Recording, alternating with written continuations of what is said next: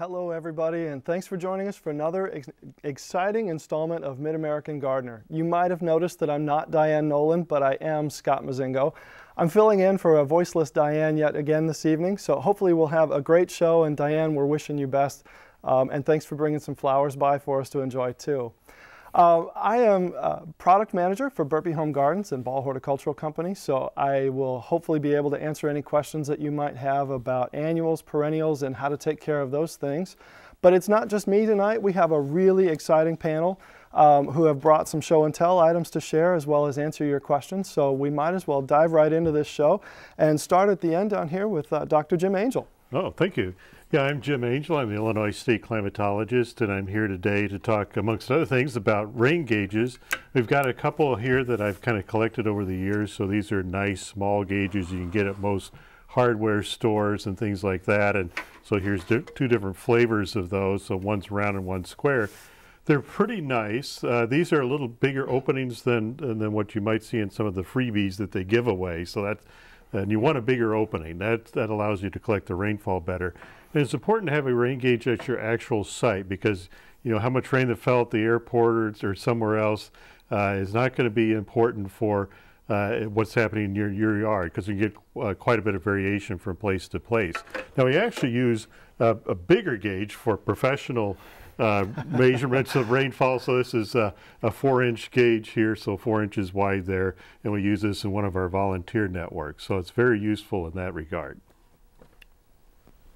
That is fantastic. And I love that you brought different sizes to show, and maybe people could have one of those and know when to turn their lawn irrigation on and off. That's exactly. Great. So, Marianne, you've brought some stuff to share with us as well. Yes, I did. I'm Marianne Metz. I'm a horticulturalist and landscape designer, and I happen to be a Japanese maple collector. And what I have this evening is but a few varieties that I have found. Actually, in my backyard, I didn't really take them from anybody, but um, you can see the different uh, colors and textures that are coming in the spring as well as in the fall when they have again beautiful colors. But the spring is really a wonderful time to uh, enjoy the colors and textures of these plants.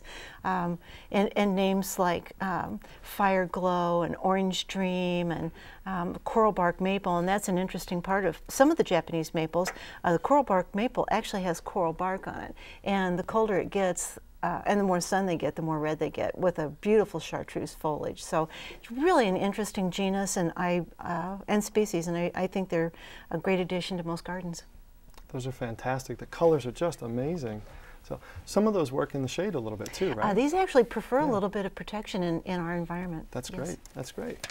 So we've also got behind the duck blind here, Dr. Don White to share something with us as well.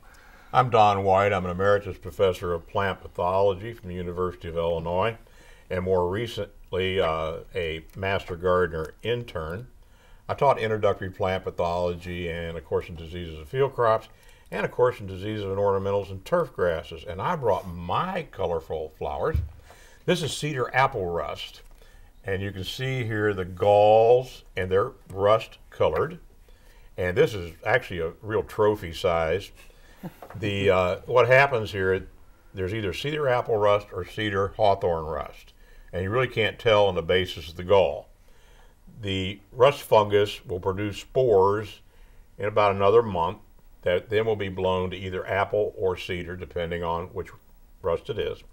There'll be a leaf blight phase, and then in the fall, there'll be spores coming back to cedar.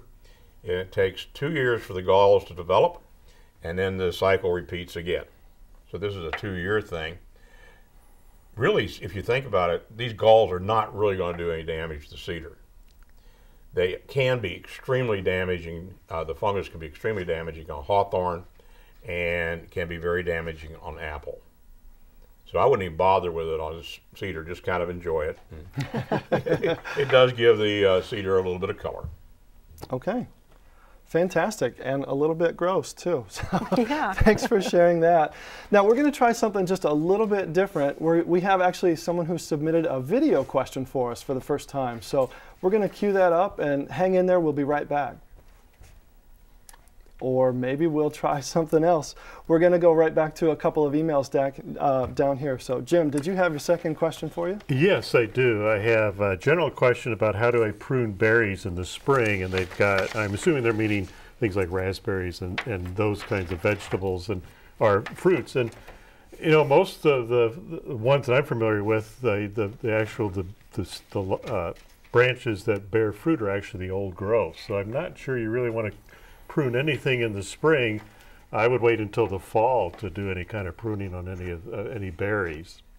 Yeah, I think that sounds like a pretty safe bet. I agree. So, all right, Marianne, did you have a second question? Yes, I do. This is about Japanese uh, beetles. Almost said Japanese maple, but no, Japanese beetles. Um, this person had uh, a, a lot of Japanese uh, beetles, and how do I get rid of them? And this person's tried spraying with.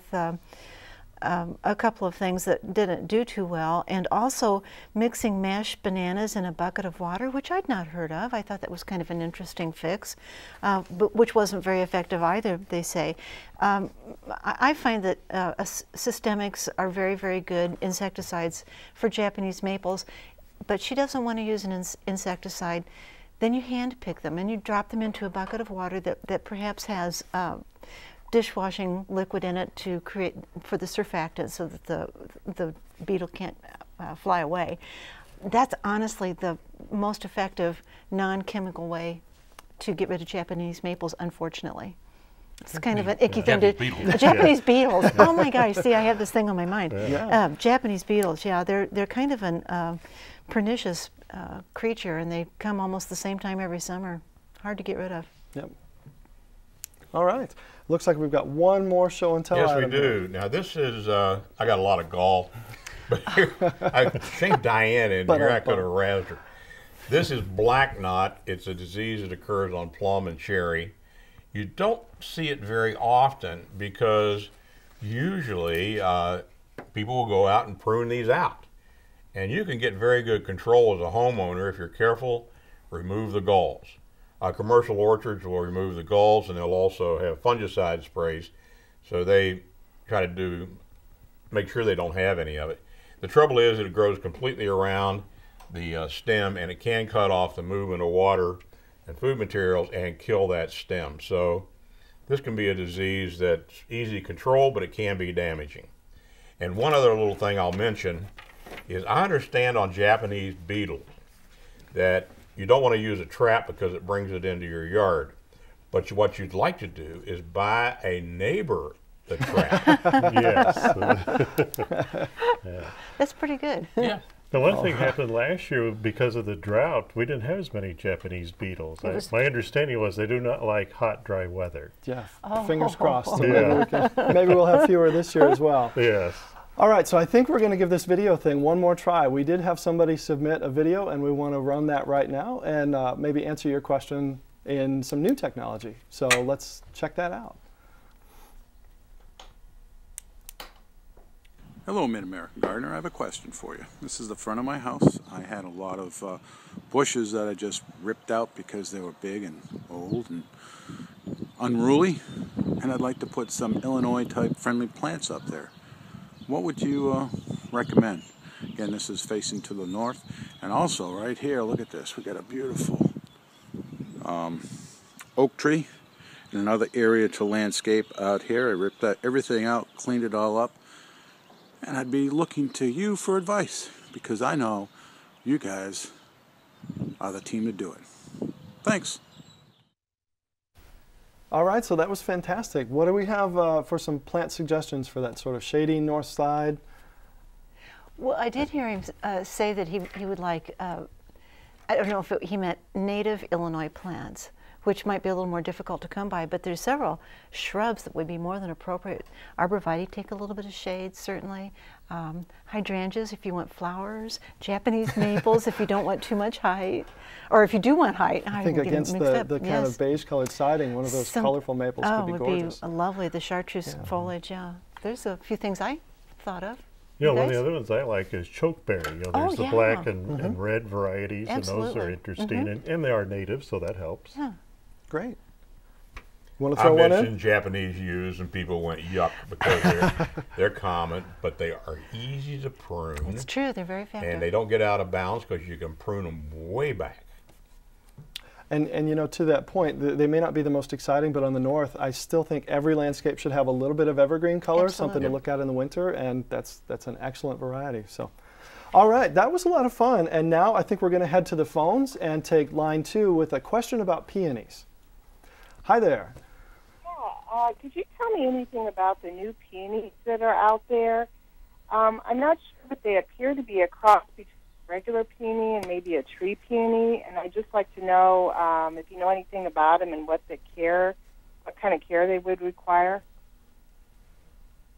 Yeah, I, I actually know a little bit about peonies. Dive right in. Um, it is, they are crossed between a herbaceous peony and a tree peony, and they're usually referred to as an Itoh hybrid. That's the person who hybridized them. And they're, they're lovely plants. They, they're very interesting. They have the um, exotic flowers of the tree peony and uh, a lot of the great habits of a herbaceous peony. And what they, what they do is die down uh, to the ground in the winter like the herbaceous, but then have the exotic flowers like the tree peonies. And basically, they're pretty much the same um, care as a herbaceous peony, but I wouldn't cut the stems off in the fall. I think I'd wait until the spring to do that if there are any stems above the ground. And just let it do its thing. Uh, full sun, well-drained soil, and mulch.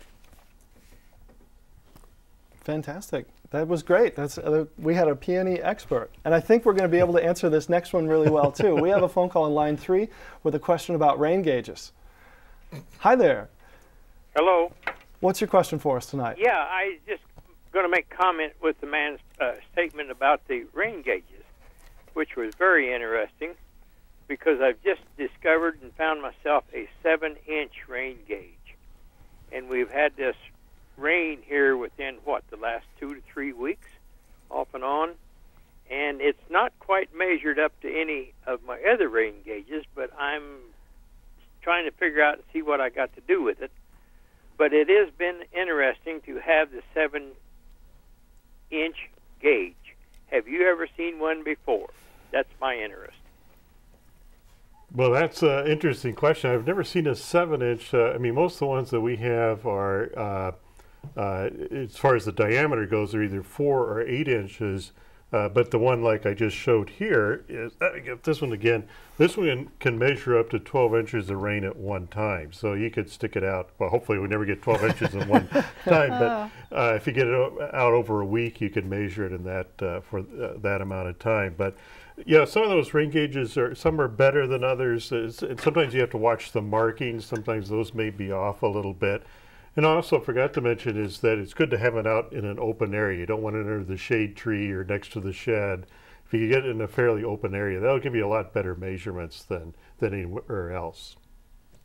That's fantastic. If they get any bigger, we're just going to have five gallon buckets uh, out. That's it. There you go. All right, we've got a question on line four about arborvitae. Hi there, what's your question? Good evening. I um, have four arborvitae that are probably six, seven feet tall.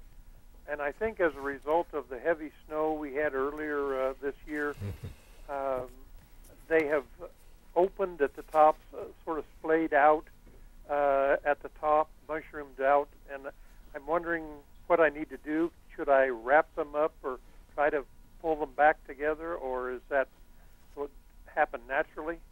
What do I need to do? So it sounds like they're kind of falling apart a little bit. Anybody want to? I had, I had that very thing happen. I did too. A lot of people had, yeah. It was that, that uh, snow we had in April that was so Yes. wet and so heavy, just Oh, kind of yeah. clobbered a lot of my It- evergreens. It, was incredible. Looks like a, a, a green banana peeled. Yeah. it's, it's really interesting. Um, I find that um, it's not going to go up naturally. It will uh, recover somewhat, but you really need to take some kind of soft material. And I think it's one of the best used for old pantyhose. um, it's a soft material and it's actually going to hold the hold the uh, plant together and go up into the plant and, and tie it tie it together uh, almost to its original position where it was and it, it's it's going to probably take its form back but this is going to support it and it'll hold it in the snow probably so I think that's one one way to Okay, that sounds like a great tip. All right, we'll take um, one more call on line six. We have a question that looks like about bleeding hearts. So, uh, what's your question for us? Hello? Um, Hi. there we go. I have a huge bleeding heart plant in Tomahawk, Wisconsin, and uh, I, I would like to transplant it down here to Petersburg, Illinois. And I was just wondering when it would be a good time to do that, and if I can do that and transplant it. It is a very huge plant, and it's probably for close to 10 years. And it, it runs about six to eight feet tall. It's a huge plant. Oh, gosh. All right. Um, anybody want to handle when to dig and divide? First, have you ever heard of one that tall? Well, it's that's- Wisconsin. We'll go with that. Or maybe it's It's a little Texas, bit, yeah, it's a little know. bit Texas, cooler up there, Texas maybe. Dicentra, yeah. Yeah. That's pretty amazing. I, I- I think I would. Uh, I find that bleeding hearts are usually blooming in uh, early spring, but about now. Around now, yeah. And it's probably not the best time to transplant right now.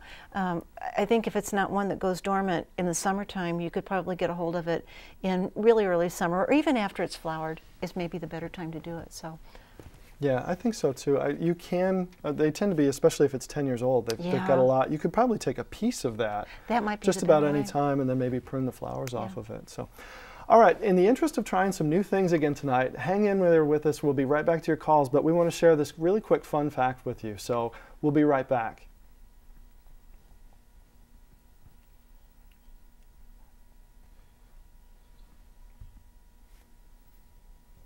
You got some of the woodland bleeding hearts you can divide the heck out of.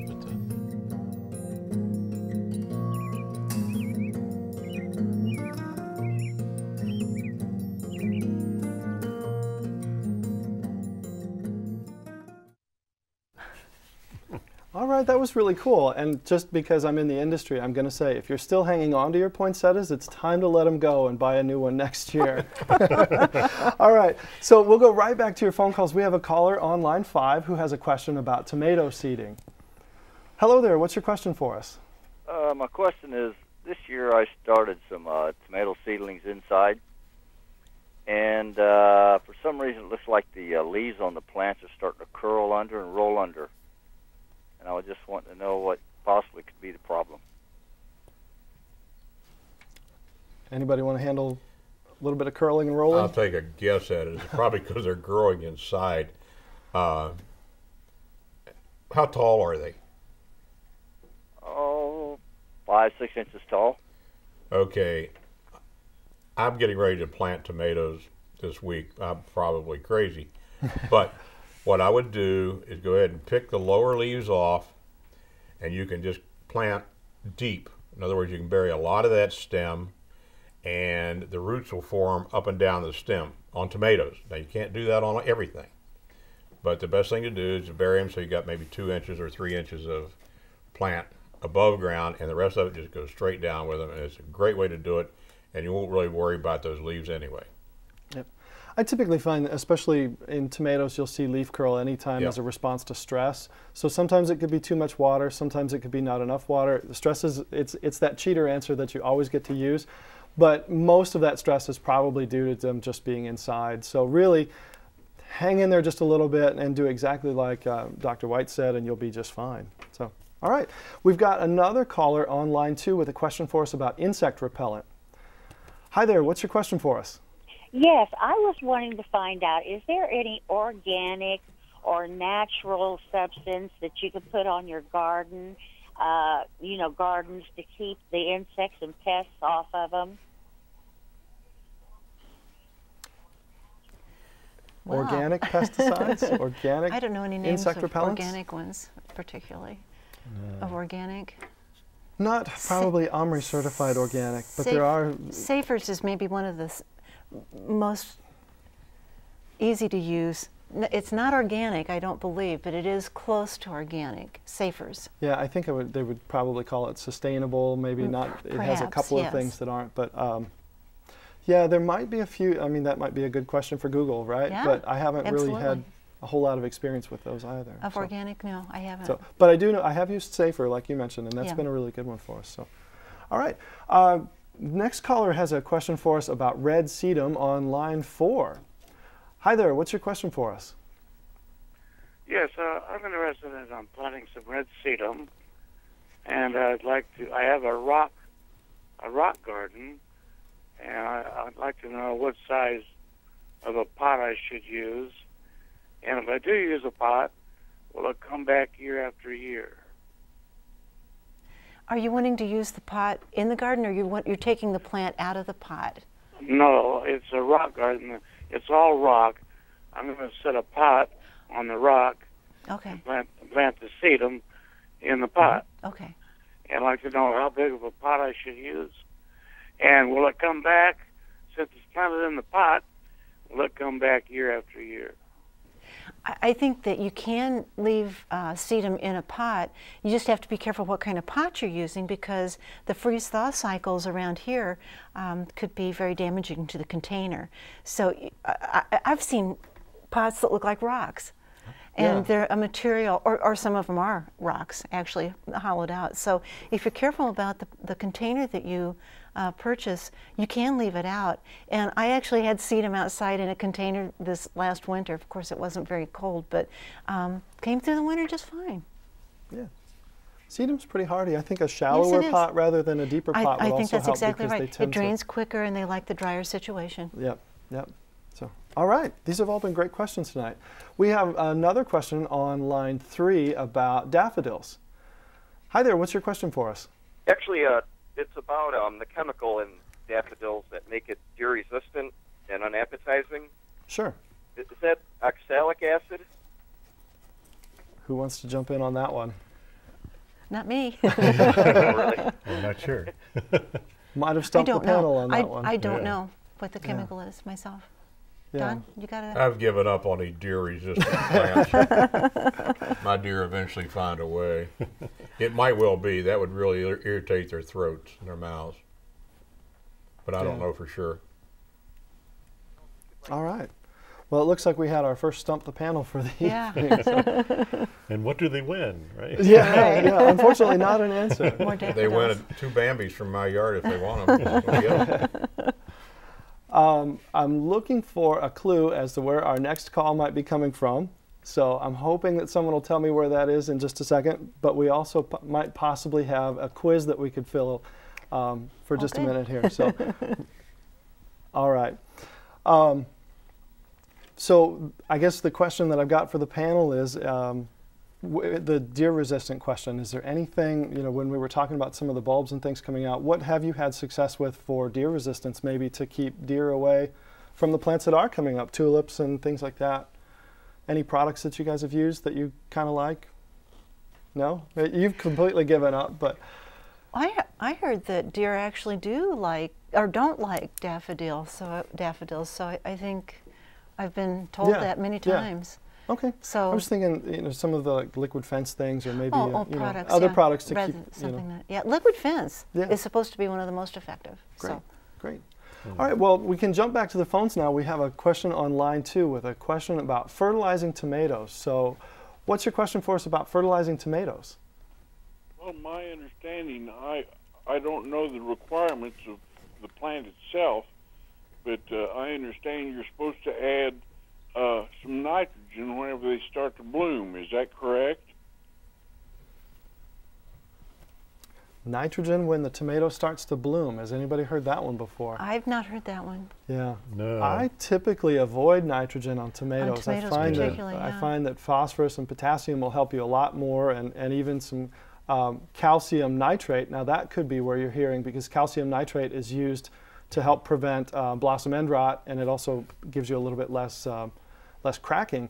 But I haven't heard. Uh, typically, extra nitrogen just causes your tomato vines to grow like crazy, but not necessarily set fruit. So Exactly. I think that might be um, a little bit misleading. Yeah. So generally speaking, for tomatoes don't need a ton of fertilizer, especially if they're in a good, uh, good quality garden soil. So. All right. So we have a, a Japanese beetle comment for us on line six. What's your question for us about or comment about Japanese beetles?